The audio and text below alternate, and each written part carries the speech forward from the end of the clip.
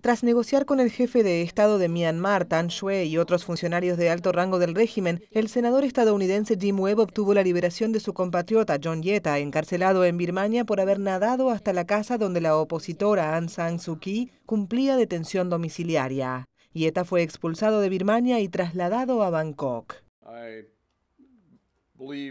Creo que perjudicó a la persona a la que trataba de ayudar, pero no creo que sea una mala persona. Le están haciendo un chequeo médico en el hospital y pronto podrá reunirse con su familia.